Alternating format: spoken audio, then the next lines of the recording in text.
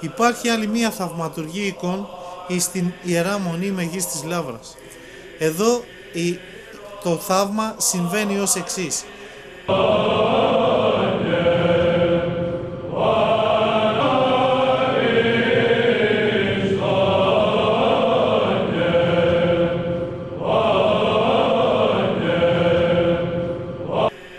Κάποτε ο Ιωάννης ο Κουκουζέλης ονομάστη έτσι γιατί τον ερώταγαν όταν σπούδα στην Κωνσταντινούπολη τι έτρωγε και τους έλεγε κόκο δηλαδή κουκιά και χόρτα.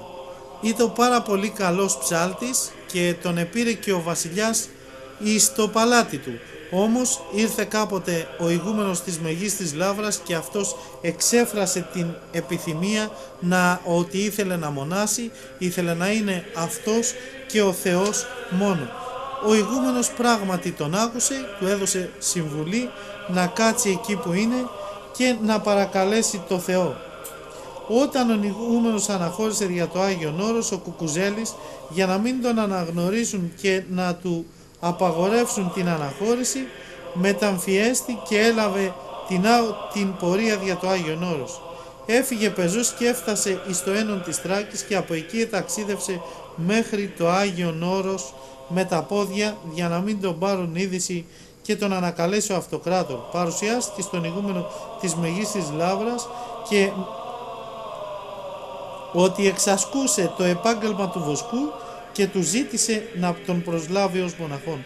Ο ηγούμενος δεν αναγνώρισε τον μεταφιεσμένο νέο και δεν θέλησε να τον δεχτεί ως μοναχό δια το νεαρών της ηλικίας του. Βλέποντας όμως την επιμονή του νέου, έστειλε να βόσκει τράγους στα βραχόβουνα του Άθου. Ο αυτοκράτορ τον ανεζήτησε παντού, ακόμη και στον Άγιο Όρος, αλλά δεν μπόρεσε να τον βρει. Ο Ιωάννης στην ερημιά του βουνού ικανοποίησε τις τάσεις της ψυχής του, δηλαδή να βρεθεί μόνος μόνο το Θεό. Κάποτε ένας ερημίτης ησυχαστής είδε από το σπήλαιό του τον βοσκό ακουμπισμένο στην ποιμαντική ράβδο να ψάλει ανύποπτος θαυμάσια τροπράρια προς την Παναγία. Ήταν τόση μελωδικότης της φωνής του ώστε τα ζώα σταματούσαν την βοσχή να ακούσουν την υπέ, τον υπέροχο ψάλτη. Ο ερημίτης ανέφερε το γεγονός αυτό εις τον ηγούμενον ο οποίος και εκάλεσε τον βοσκό Κουκουζέλης από τις κακουχίες είχε αποσκελετωθεί και το μόνο που του είχε απομείνει ήταν η ωραιότητα της φωνής του. Όσοι το επόμενο ο ηγούμενος δεν μπόρεσε να τον αναγνωρίσει τότε ούτως αναγκάστηκε να φανερώσει τον ηγούμενο ποιος ήταν. Ύστερα από όλα αυτά ο ηγούμενος πήγε στην Κωνσταντινούπολη, παρουσιάστηκε στον αυτοκράτορα, του είπε πως ο Κουκουζέλης έγινε μοναχός και τον παρακάλεσε να του επιτρέψει να κάτσει στο μοναστήριο. Ο αυτοκράτορας συγκατένευσε εφόσον ο Ιωάννης είχε γίνει πλέον μοναχός και ζήτησε να προσεύχεται υπέρ της σωτηρίας της ψυχής του.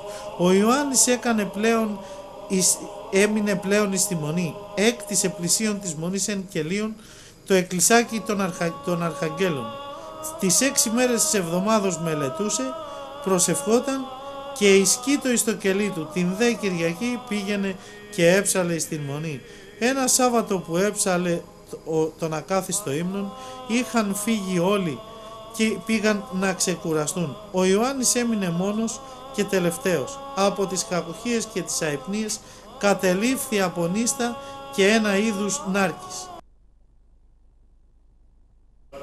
Άκουσε τότε φωνήν από την εικόνα να του λέγει σιγανά «Χαίρε Ιωάννη» και είδε μπροστά του το όραμα της υπεραγίας Θεοτόκου. «Χαίρε και πάλι Ιωάννη» άκουσε για δεύτερη φορά. Ρίγος έπιασε το κορμί του αλλά δεν εξύπνησε. «Ψάλε μου, ψάλε μου» του είπε η φωνή για τρίτη φορά. «Εγώ δεν θα σε εγκαταλείψω». Συγχρόνως η οπτασία ε, έβαλε στην παλάμη του ένα νόμισμα και έγινε άφαντη. Συνήλθε τότε ο Κουκουζέλης και είδε ότι και είδε στην παλάμη του το νόμισμα. Το νόμισμα εκείνο οι πατέρες κατόπιν το ανέρτησαν στην εικόνα την οποία έκτοτε ονόμασαν Κουκουζέλισαν. Η εικόνα αυτή κάνει πολλά θαύματα και το νόμισμα επίσης θαυματουργεί. Ο Ιωάννης μετά από αυτό έκαμε περισσότερη προσευχή και υμνούσε την, την Παρθένη. Τόση ήταν η ορθοστασία του, ώστε κατά την παράδοση εσάπησαν τα πόδια του και έβγαλαν σκουλίκια. Αλλά ο Ιωάννης επίστευε ακραδάτος και ένα βράδυ είδε και πάλι στον ύπνο του την Παναγία η οποία του είπε «Από σήμερα θα είσαι υγιής» και πράγματι έγινε υγιής. Αλλά οι στερήσεις και οι ασκήσεις για τη σωτηρία της ψυχής του έπρεπε να τελειώσουν και ο Ιωάννης προείδε τον θάνατό του. Εκάλεσε τότε στο κελί του τους μοναχούς και τους ζήτησε συγχώρεση. Έψαλε ένα τροπάριο στην Παναγία και παρέδωσε το πνεύμα του.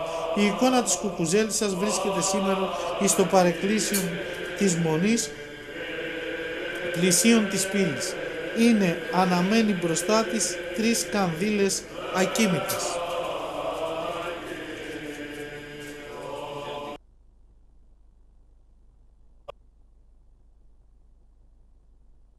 Η Παναγία οικονόμησα. Στο Άγιον Όρος έκτισε την Ιερά Μεγή στη Λάβρα ο Μέγας Αθανάσιος. Τα χρήματα που του έδωσε ο αυτοκράτορ Νικηφόρος και τα συμπληροπλήρωσε κατόπιν ο Τσιμισκής. Τον καιρό εκείνο προσέτρεχε σε αυτόν και προσέτρεχαν πολλοί μοναχοί πάσχοντες για να ζητήσουν τη βοήθειά του. Ήρθε όμως στιγμή και εξαντλήθησαν τα χρήματα από τις δωρεές του αυτοκράτορος χωρίς να έχει τελειώσει το θεάριστον έργο.